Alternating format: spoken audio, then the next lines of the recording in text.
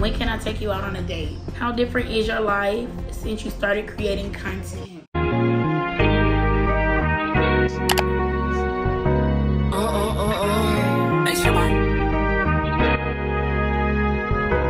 That's nuts, baby. Don't play with it, don't play with it, don't play with it. What's up, Subbie? You know you love me, you can't get enough of me. Ooh, wait, it's your girl, Mariee. And you already know I'm back dropping that motherfucking heat, so never miss a motherfucking beat. If you're new to my channel, welcome to my channel. How are you? Oh, Over here, we do all things plus size, all things curvy, because if it's not the heavyweight, then you're going the wrong way. The wrong way. But it's okay, I'm here to put you back on the right track. I got you. Tap me in, friend, tap me in. I got you. So, y'all already see the title and the thumbnail. Today, I will be doing a Q&A. I've been asking on Instagram for a couple of days now, like drop questions, drop juicy questions. Before we get into it, you know you need to like, comment, and subscribe. Follow the kid on all social media so you never miss a motherfucking vibe. Period. Simple. Straight to the point. Let's get to it. So, before I get into y'all questions, I just want to give y'all a little rundown about me, who I am, what I do. My name is Mariee with two E's, baby. If you drop that E, I will drop you. Okay? Some respect on my motherfucking name. Um, I am 28 years old. I will be 29 December 31st. Mark your motherfucking calendars because I promise you, you've been celebrating me before you knew it was about me. so now that you met me, we can celebrate together. Favorite color is purple. I'm really not gonna lie, my, my top colors are purple and pink and turquoise, but no shade. I like all the colors. Cause they all mean different things and depending on how I'm feeling and what I'm going through, my colors tend to change. So um I'm very resilient. Um, nobody puts baby in the corner. I am a social media influencer. I've been doing influencing for about shit seven years, honestly. Taking it full time though, probably about a year. What's another fun fact about me? I love to dance. I love to dance. I love to drink. Okay, so I was born in Newark, Delaware. Uh, I'm always putting on for my city, even though I ain't never home. I love Delaware. Like, if I could move back, I would. If I could live there, I would.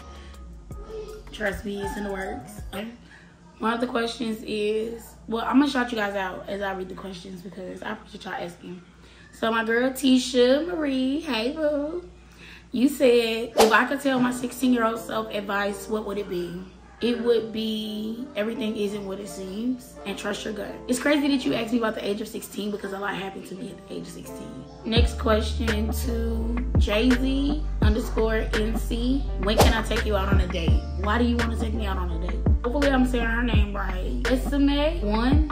What are three positive things you can say about yourself that you value and growth wise? Three things that I can say I value about myself is learning the difference between silence is golden and letting somebody try you. And what I say by that is I'm very, I'm a social introvert every time.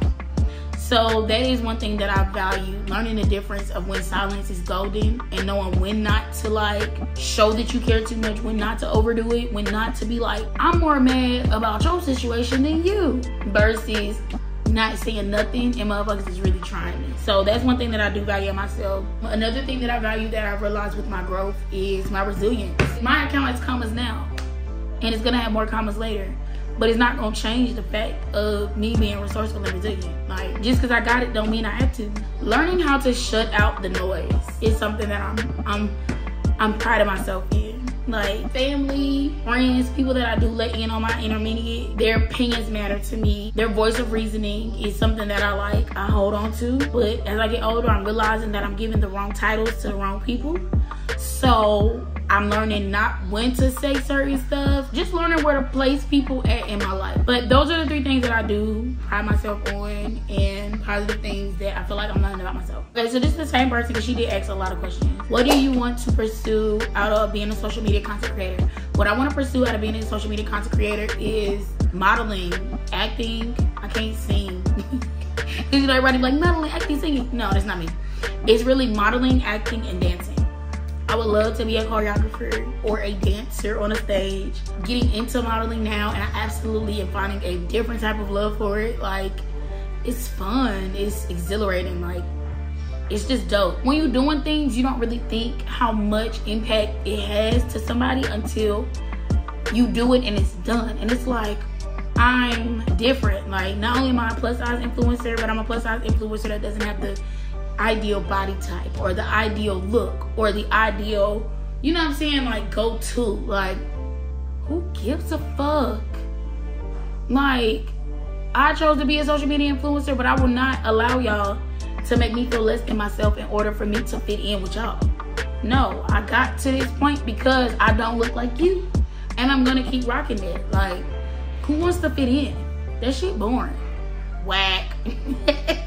do I want more children? Yes, I do. I want a lot of children.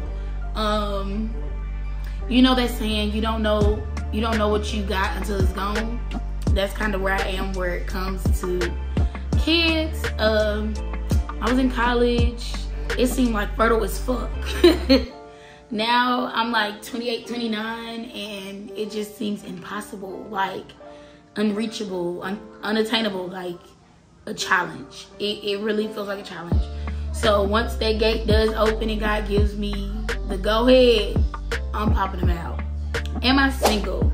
Y'all can ask me this question forever. Like, am I single?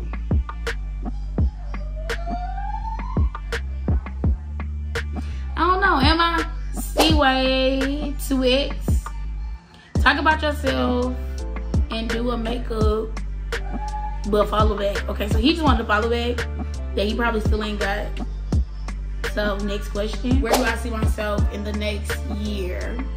Um, in the next year, I see myself happy in my in one of my one of my best homes with everything that I put my hands on winning. So social media, businesses, branding deals, like getting flued out to do shit. Like that's that's the goal.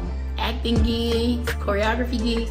I need everybody to be. Everybody needs me. That's that's the goal. Okay, so this is a good question. How did I get started in modeling? Honestly, um, modeling found me, and I think that's the craziness about it because it's similar to how YouTube found me. I really wasn't a picture person type of girl. I would mostly do reels in the outfits, dance in the outfits because that's what I like to do. Like I like to dance. Um, but I'm not gonna lie, the older that I get, it seems like to make a TikTok that includes dance trends is is a whole nother task in itself. So I don't know, for some reason it just kept pushing me into get ready with me's, things that involve like modeling aspects. And once I started taking pictures and taking my own pictures at that, and it was easy, it just was like, ooh, is this a thing? Is this is this called modeling? Is this what that is? Oh baby. You should have. So next thing I knew, like I saw that they were doing a uh, I saw that a company, Body XL, shout out to y'all, was doing a model house. And it was like, you want to get more intel, you want to know how to do it, you want to know how to pose. And it included a photo shoot. I was like, what the fuck? That's the great, the creme de la creme. I got social media down, hands down. I got that bitch on lock. Modeling on the hand, helping us out. So that's kind of how I got into it. It found me. And I just, with me, like, I'm a Capricorn, y'all. So when I like some shit, I take it and run with it. Like, I just go. Like, just go. If I think about it too long, it ain't never gonna get done. So I just go. What do you think is the hardest thing about being a plus size influencer? The hardest thing, consistency. Oh my God. That was an honest answer, y'all. Consistency is the hardest thing. Like, my subbies, y'all know, even like my followers on Instagram, like, y'all know, I will post, post, post, post, post. And then for like a day, maybe two, maybe three, depending on what I got going on, I go missing. And it's only because it's just me. Like, I do everything that y'all see. I come up with the content or TikToks, Reels, whatever. I create the YouTube videos. I make the thumbnails. I edit the videos. I like promote, promote, promote. Like I do it all. And unless I get time to really sit down and schedule out everything for that week, it be hit or miss. Because I promise you, I'll get done with one thing, then I'm still like have to cook dinner, I have to do this, I have to do that. Like I do a lot. Like y'all, I do so much. Then my live videos, I go live here and there. It's consistency is the hardest thing. The hardest thing. Like I need one app to schedule all content. What advice would you give people starting out and want to become influencers? Do it. That's the best advice I could give you, honestly. Do it. Whatever you think, whatever you want, whatever you see, whatever you envision, do it. So don't ever think your idea is stupid or your idea is not worth posting. Just do it. Like, your perception is what makes people want to fuck with you, honestly. Your perception, the way you do things, the way you live, everybody does everything differently and it gives a different look on things when you do it so just do it. And also i also did a video on um how to become a size influencer. I'll link that video in this video as well so you go check that out after you watch this one. What are my short-term goals for myself? Um honestly i got a lot. All i'm gonna say is vegas. Very short term goal, Vegas. Um, of course, hitting 100k on YouTube so that I can get my first plaque.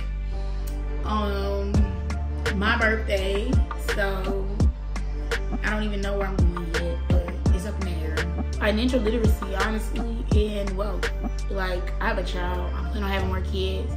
I want them to be able to know, like, you fuck up, you good. You know what I'm saying? Like, yeah, you invested in this, but it's all right. You still straight.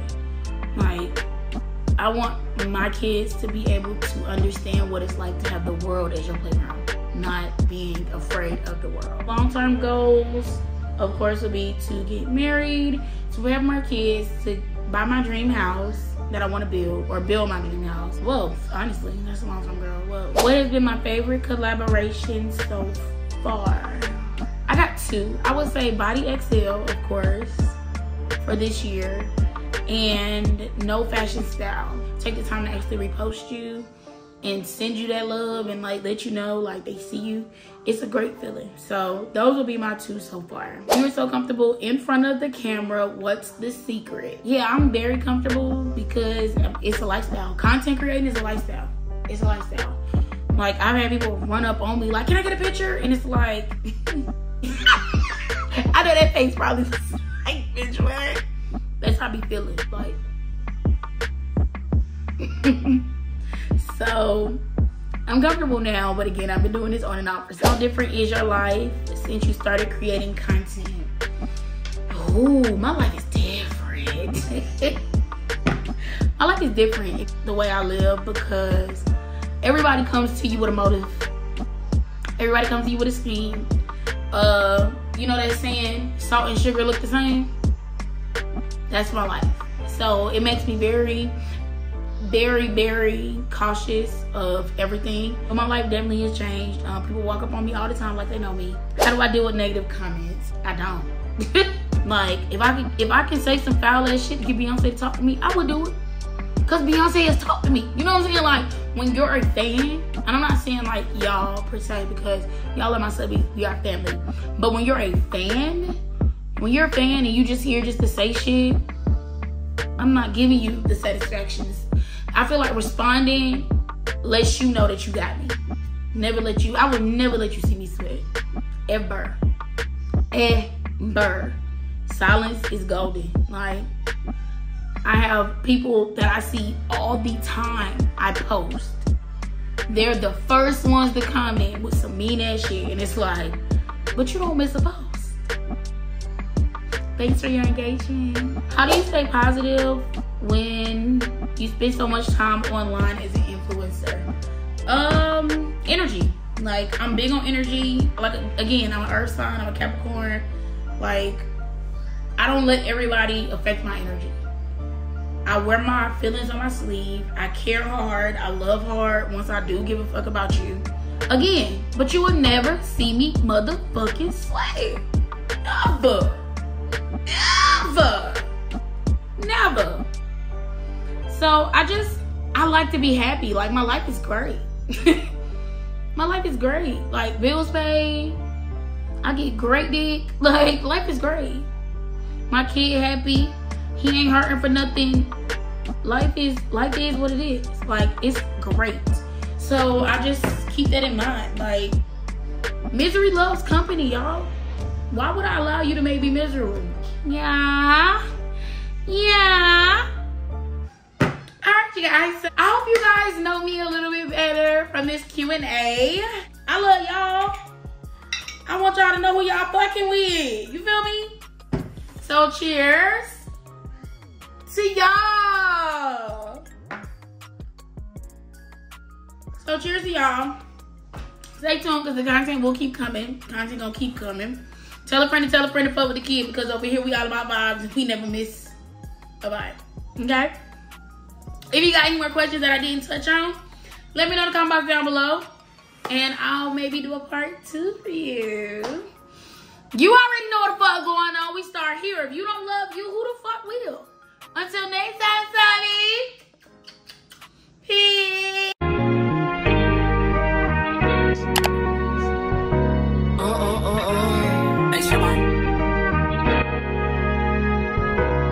Don't play with it, don't play with it, don't play with it.